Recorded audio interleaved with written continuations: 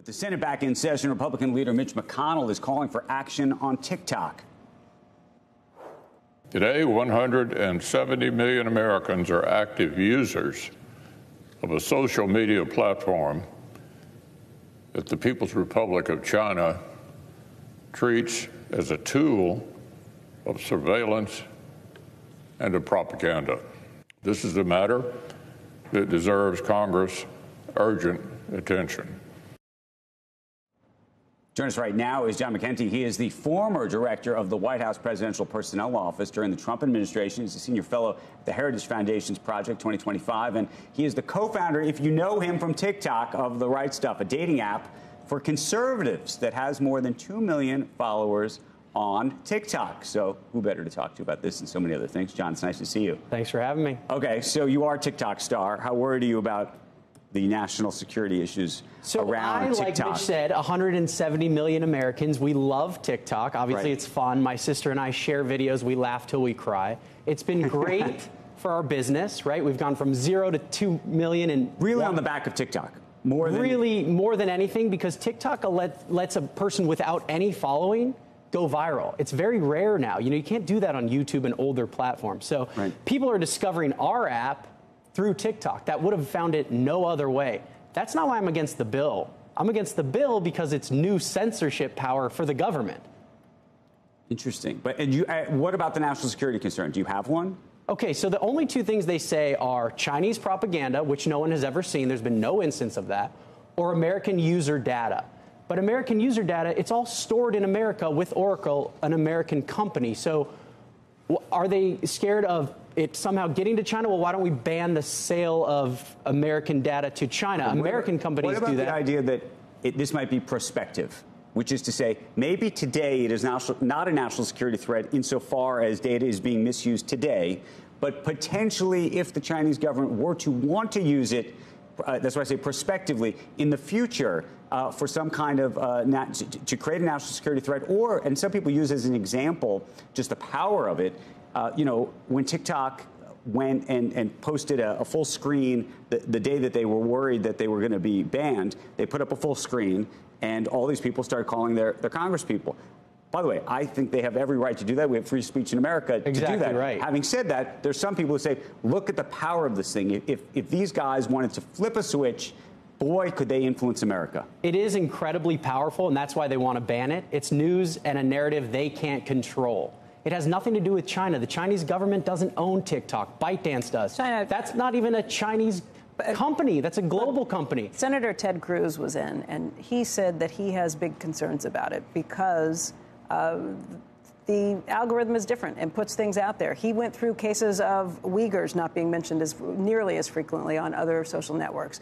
Went through issue after issue where they are very much pushed on TikTok and not on other social media apps. And his concern is that. And I will also say, anybody who has access to the highest level uh, of uh, defense issues and concerns around this has come away and said this, and that's Republicans and Democrats alike. I don't have access to that. I know you were in the White House, but you probably didn't have the highest level security either.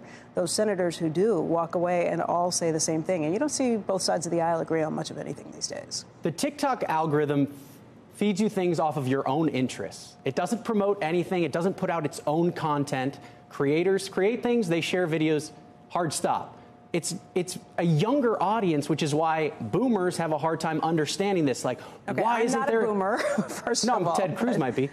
Why, why, why, why is it? Why is there less pro-Israel content? Well, the younger generation is less pro-Israel. That might be good or bad or whatever, but it's just feeding American public opinion. No one's actually like promoting or censoring Uyghur content. Like, no, it's just not a top of mind issue for most Americans. That's why you don't see it. You can Google or But why search. is it so different from other social media apps? Because I thought they were doing the same thing. It's not that different. That, that's what Ted Cruz said. I don't have All the of these studies are based on what he told us. hashtags. They say, oh, it's TikTok promotes So suicide because the Cruz is just hashtag? I'm done. Yes, Ted Cruz could be wrong. The hashtag I'm done is a you know a suicide hashtag. It's like I say that every day. You know these studies are all crazy. They're ridiculous. It has nothing to do. It's not controlled by China. Okay. Okay, let me ask you a different It's like question. gaslighting. Uh, Truth Social, Yeah. what do you think? You, inv- you investing in Truth Social? Am I investing in it? Would Well, you- I don't really would you invest, invest- but Yeah, I mean, I like it. I think it's a great platform. Obviously, everyone is there to see what Donald Trump says, and it's Right. exciting. And in do, an election year. I mean, I think one of the things we should know for, the, for those who don't follow this, you have a dating app. That's your business. and we do have a Truth Social account. Yes, And you have a Truth Social account because the business is uh, putting conservative, I don't, uh, conservatives, Republicans, I don't know what you uh, what you describe the, the group Both, as, yeah. together. That's what it is. So I would assume Truth Social would be a big part of that. Actually, Truth Social has an older demographic, and that's why we use TikTok because we're targeting a younger demographic, a dating app. We want to keep it cool and young and light. We're actually targeting a new conservative, which is a cultural conservative, someone that might not understand economic policy, they might not follow Twitter or Fox News. But they know culturally things are weird in the country. Like they're being told men can get pregnant. That's why our videos resonate because we're calling out just how crazy things are. Um, do you so, so Truth Social as a, as a investment, not for you? Well, I don't really invest like that, but sure, I would if, if I did. Did, no, I'm saying like you look at the valuation of it. You you run a business. The, the company is bringing in four million dollars in revenue. Do you say to yourself, this four billion dollar? Uh, I really have no makes a lot of idea. I think like the upside is that it's an election year. You have Donald Trump, the most iconic man in the world, exclusively on one platform. What's the value out on that? I don't know. You know, it's probably pretty high. Um, the other thing I wanted to ask you, uh, just actually about sort of the future of, of the country, but also maybe even your own uh, experience.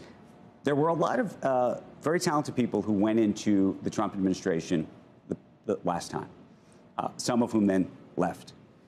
I'm curious what you think if, in fact, he wins again, and the polls would suggest he, he, he will if, if the election were uh, today. What, what kind of people you think he's going to be able to surround himself with? I think he'll get the best people. I think we have junior people in the first part of the administration, the first term, that can now occupy more senior roles. We know who they are. And Project 2025 at Heritage has been doing local and national news, gotten a ton of attention, and got a lot of resumes and good people already. And that's going to grow throughout the year, especially when he wins in November. We're going to get inundated. We're going to teach them how to be effective political appointees. And then we can hit the ground running in January. What do you think of his take uh, on TikTok? We talked to him about it when he called into the broadcast a couple of weeks ago.